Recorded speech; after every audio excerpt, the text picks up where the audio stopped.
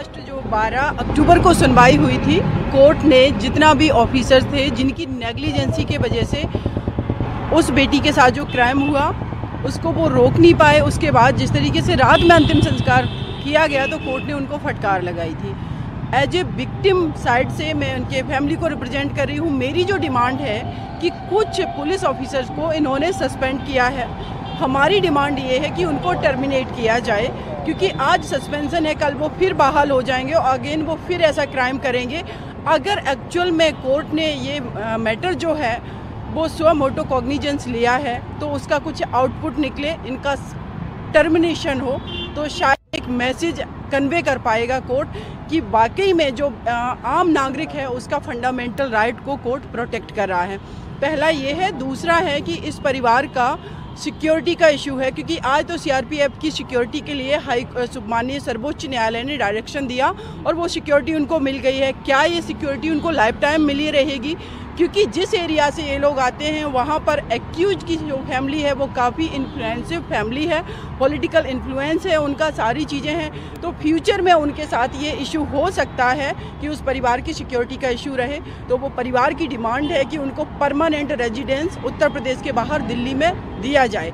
उसके अलावा माननीय उत्तर प्रदेश के चीफ मिनिस्टर योगी आदित्यनाथ जी ने विक्टिम जो पीड़िता थी, उनके फादर को ये कमिटमेंट किया था कि एक पर्सन को सरकारी नौकरी दिलवाएँगे, लेकिन वो आश्वासन पर अभी तक कोई भी काम नहीं हुआ है।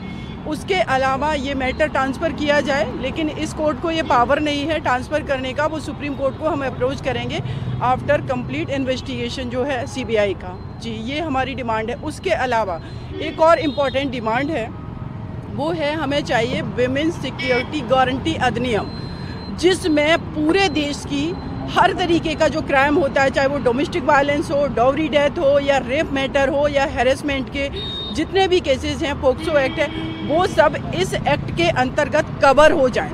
क्योंकि इशू ये है कि अगर एक फीमेल के अंगेंस्ट क्राइम हो रहा है, जैसे कि आपने डोमेस्टिक वायलेंस एक्ट बना दिया, लेकिन वो फीमेल जो ना तो मेंटली स्ट्रांग है सोसाइटी की सिक्योरिटी रीजन के वजह से ना वो फिनांसली स्ट्रांग है, क्योंकि डिस्क्रिमिनेशन परिवार के अंदर है, ना वो किसी भी तरीके से स्ट्रांग नहीं है। जो पर्सन स्ट्रांग नहीं है, अगर उसको आप कानून बना के दे भी देते, उसका इम्प्लीमेंटेशन वो कैसे कराएगी, अपने लिए फ़ाइट कैसे करेगी? तो जब भी किसी फीमेल के अगेंस्ट क्राइम हो, सबसे पहले उसको कंपनसेशन दिया जाए।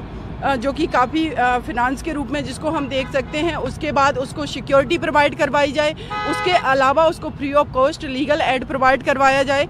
अभी बहुत सारी फीमेल को यही नहीं पता है कि उनको सरकारी वकील भी मिल सकता है। तो ये हर तरीके का उसमें कवरिंग हो। दूसरा, आप देखेंगे कि फॉरेंसिक लैब हमारे पास बहुत कम है। जब भी रेप मैटर्स होते हैं, एक फॉरेंसिक रिपोर्ट आने में छः छः महीने लगते हैं। तो फिर कैसे fast track court case final होगा? कैसे टाइम बाउंड डिसीज़न आ पाएँगे? तो उसके लिए हर राज्य में कम से कम 10 फॉरेंसिक लैब बनाए जाएँ। ये सारी चीज़ों पर बात होगी और जो भी विमेन के अगेंस्ट क्राइम हो रहे हैं, उसमें कम से कम छः महीने के अंदर कन्विक्शन हो, वो भी अपील तक डिसाइड हो, ना कि सिर्फ़ डिस्ट्रिक्ट कोर्ट में, और टाइम बाउंड हो। ये सारे हमारे उसमें डिमांड रहेंगे, जो भी महिला सुरक्षा गारंटी अधिनियम है। जी। कितने सुनवाई होनी और दो बजे सुनवाई का टाइम है दो सवा दो बजे के टाइम होगा और इसमें उत्तर प्रदेश के जो ऑफिसर्स हैं जिनको जो भी सस्पेंड हो चुके हैं एसपी हाथरस उनको बुलाया गया है डीएम है एडीजे हैं उसके अलावा अदर ऑफिसर्स हैं और विक्टिम साइड से मैं प्रेजेंट कर रही हूँ। सॉरी सरकार की तरफ़ से कोई स्टेटस रिपोर्ट पेश की जाएगी आज तक की या बिल्कुल क्योंकि जिस तरीके से कोर्ट ने लास्ट टाइम सरकार से बहुत सारे सवाल किए थे जिसका उन्होंने आंसर दिया बट ओरली क्योंकि उनके पास रिटर्न में कुछ नहीं था। तो कोर्ट का कहना है कि अगर आपने उस पीड़िता को रात में डेड बॉडी को जलाया तो उसकी वजह क्या थी? इनका कहना था लॉ एंड ऑर्डर फेल हो सकता था। तो कोर्ट ने कहा कैसे? उनका कहना था कि वहाँ पर गैदरिंग बहुत ज़्यादा थी। तो कोर्ट ने रिपोर्ट मांगी है कि आप मुझे पहले प्रूफ दीजिए कि कितनी गैदरिंग थी, क्या वहाँ लॉ एंड ऑर्डर इतने कम पीपल डिस्टर्ब कर सकते थे? जैसे कि फैमिली का कहना है, या हम सबने देखा और मीडिया ने भी दिखाया। करीब 500 मीटर के सराउंडिंग वहाँ पर कोई पर्सन नहीं दिख रहा था। सिर्फ़ फैमिली मेंबर्स थे, जिसमें भी 50 से 60 लोग होंगे, जिनको पुलिस ने डिटेन कर रखा था और ज़्यादातर उस पॉइंट पर जहाँ पर पीड़िता का दाह संस्कार किया गया, वहाँ पर कम से कम 200 से 250 के नियर अबाउट पुलिस ऑफिसर्स ही थे। तो कैसे ये लॉ एंड ऑर्डर फेल हो सकता था, ये बड़े क्वेश्चंस थे। अब आज कोर्ट में जो स्टेट गवर्नमेंट है, वो रिपोर्ट सबमिट करेगी। मैं देखती हूँ उस पर कि क्या ये रिपोर्ट में बताते हैं। लेकिन जो मीडिया में चीज़ें चली, जो हम लोगों ने देखा सभी ने, उसके अलावा एडीजे का स्टेटमेंट हम सबने देखा। कि सीमन नहीं पाया गया, इसलिए रेप नहीं हुआ। तो ये एक ऑफिसर जिसका काम है सिक्योरिटी प्रोवाइड करना लोगों को वहाँ पर जो भी पीसफुल माहौल है वो डिस्टर्ब ना हो। लेकिन उनके स्टेटमेंट के बाद आपने देखा, वहाँ पंचायतें शुरू हो गई कि रेप नहीं किया गया, मेरे बच्चों को फॉल्सली फंसाया जा रहा। जबकि रेप की डेफिनेशन ही अलग है, उस पीड़िता के साथ रेप हुआ है। उनकी जो फॉरेंसिक रिपोर्ट है, उसमें पुष्टि हुई है उसकी, फिर ये किस तरीके के स्टेटमेंट दे रहे तो ऐसे ऑफिसर्स के डीएम का स्टेटमेंट देखिए आप, उन्होंने कहा कि अगर पीड़िता कोरोना से मर जाती तो आप सोचिए, वो जब ये स्टेटमेंट दे रहे हैं तो उनके एजम्पन्स क्या क्या होंगे?